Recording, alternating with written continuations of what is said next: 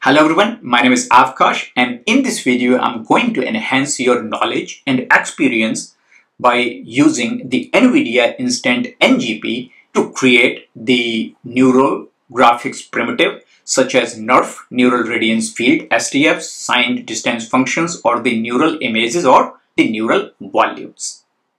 We will start this video by loading the scene which we have already created by using a video or images. Once the scene is loaded into the NVIDIA Instant NGP GUI, we are going to process into the NeRF objects and learn how to configure various mesh points as well as triangles into an active scene. We are going to export it into a 3D object while the vertices color colors are also embedded into 3D object. After it, we are going to load this 3D object which we have just exported into the 3D object applications such as Blender as well as the MeshLab. These applications can load various kinds of 3D objects including the one which we have just exported. You will learn that while the Blender does not show the vertices color, however in the MeshLab you can still see the colors related to our vertices. Not only that, you can extract the color, remove, and you can apply your own vertices color if that is what your objective is.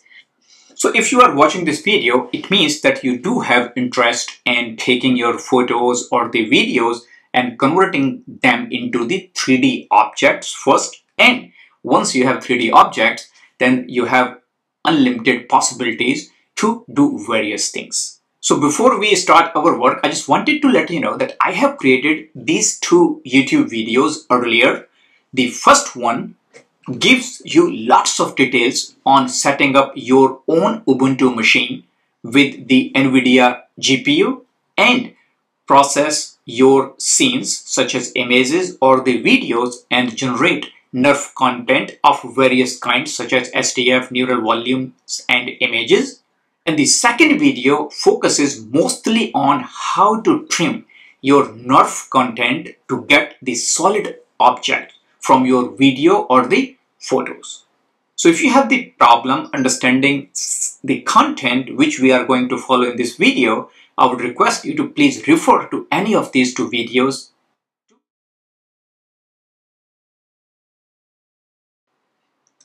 Here I do have the scene loaded which was created through the video.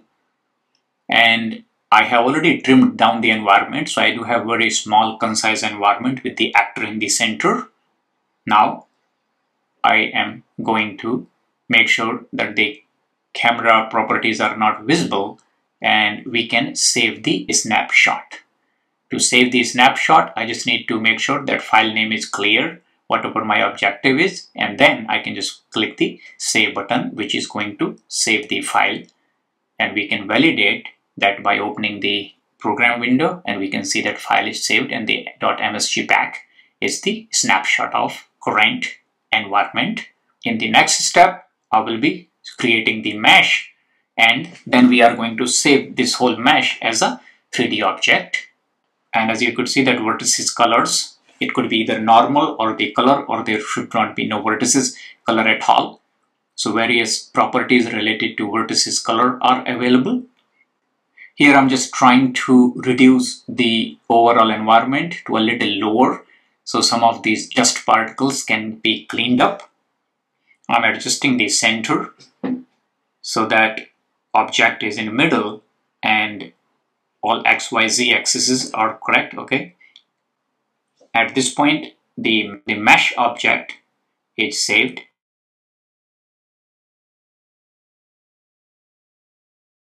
And in order to optimize the mesh, I have to make sure that optimize mesh checkbox is on. Now I can change these values related to Laplacian smoothing as well as the intensity. By changing these values, you will see that there is a change in our mesh object. Now you could see that smoothing is start visible for us and the impact of the optimizing mesh properties is coming into the existence. At this point, we are going to maximize these optimized mesh values to the max. Changing the intensity does change the constitution of this triangle. If we could export this object into a 3D viewer, we could actually see the difference in the triangle. Now you could see that the changes of the Laplacian smoothing is also in action based on the intensity we have added. When we will open this 3D object into the MeshLab or the Blender, then you can actually see the, the triangles as well as the mesh wiring to understand the impact much more clear. And now once these values are max and our optimized mesh property is checked, I will go ahead and I will save this 3D object as a object number two. So we will have two different objects to be loaded into the Blender as well as in the Mesh Lab. Now I will change the mesh file to be part 2 and once the mesh file name is changed I have used the save it button to save it. So now we have two different mesh files to be loaded into Blender as well as the mesh lab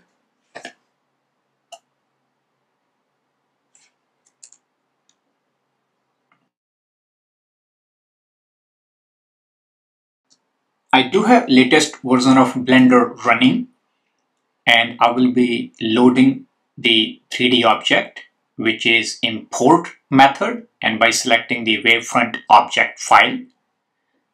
Here we are going to select the 3D object which we have saved and first we are going to load the second version, the one which has more triangles into it. Initially when you are going to load the object, you might not see it early because it takes some time to load the 3D object. And as you could see, the 3D object is loaded, but because it is embedded into the cube, which was at the center, so we just need to disable the cube view from the top right list of these 3D objects or the assets we have. As you could see, that 3D object is already available, loaded, visible and fully function. In the next step, my objective will be to actually load the first 3D object which we have saved at first and I will be selecting and the loading here. It will be loaded into the Blender as an additional asset and these both 3D objects are visible at the top right corner and depending on which one is our interest, we can enable their views. So this is the first one, which has less triangles versus the second one, which has more triangles. One thing you must remember is that here we do not have the vertices color visible in the blender. However, they are there because I will be proving you when I will load these 3D objects file in the mesh lab. So just wanted to show you that how you will load the 3D objects exported from the instant and GPS NeRF into the Blender. So I do have the Mesh Lab application latest version is running. I will be importing the 3D object which we have exported earlier. So this 3D object is the first one which we have exported through our NeRF session and as you could see here that this is the very first object which has the vertices color built into which is quite different from the blender because blender does not import the vertices color when we are opening the 3D object file. So this should be very simple example for me to show you that when you are exporting the 3D object from instant NGP NeRF session, it does have the vertices color embedded into it. And as you could see here, this option shows that vertices colors are, this is the mesh and this is the vertices color. here you have some options available for you to really try to understand how you would want to match your 3D object which is already open here. Here if you would want to use the user defined vertices color rather than using the original one. Now let me load the second 3D object which had a lot more properties into it.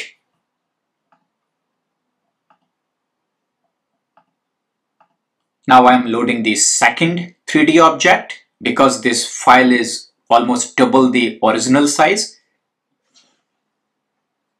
And here as you could see that even in this scenario, the 3D model is loaded and again you could see the color and non-color and this model does have a lot more properties comparative to the previous one. And as you could see that the triangles are much more clearly visible in this design versus when we have the shading applied to the triangles. Zooming in and out should give you the much more clarity so that's how we could really prove that exporting the 3D object as a NeRF object from NVIDIA NGP does export the vertices color and depending on the tool which you are going to use to open the 3D object, you can play with the object and also either reuse the vertices color or you can apply your own vertices color top of the 3D object. So that's all I had for you in this video. I hope you have enjoyed the content. I do appreciate your time and I'm looking forward to seeing you in my next video. Until then, thank you so much.